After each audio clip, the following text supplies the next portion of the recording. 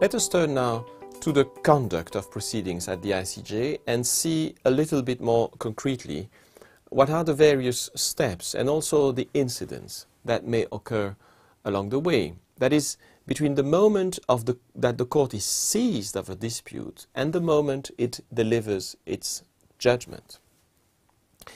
The court is seized of a dispute either through the notification of a special agreement, as you know, or through the filing of an application if the basis of jurisdiction invoked by the claimant state is a compromissory clause, is two optional clauses, or an expected consent in a case of forum prorogatum. From that moment onwards, the judicial machinery is set in motion. And a first procedural step is taken by the registry of the court. Under various provisions of the statute and the rules, the details of which are uh, rather unimportant here, under those uh, provisions, the registry notifies all UN, uh, uh, the Secretary General of the UN and all the UN member states and other states entitled to appear before the court.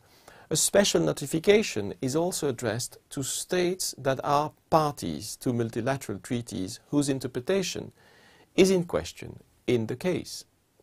And furthermore, if that treaty is the constituent element of an international organization, or if it, is, uh, if it has been adopted within the framework of that organization, uh, such organization will also be notified and it will uh, receive copies of the written pleadings. Notified states may also request to receive copies of the written pleadings of the parties. All these may sound very administrative and purely procedural, but the publicity given in this way to the case and the automatic character of such publicity stands in sharp contrast to arbitral proceedings. When a dispute is brought before the ICJ, the case is public and it resonates within the world community. And as we shall see later, it is because a certain publicity is given to a case that various types of interventions in the, in the proceedings exists.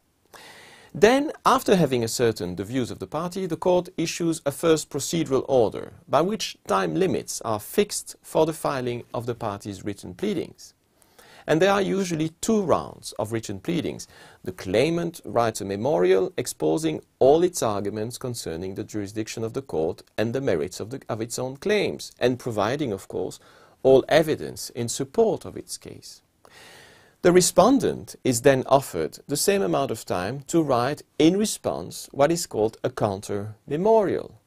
And then usually a second round of written pleading takes place, with the claimant filing a reply and the respondent filing a rejoinder in response to the reply.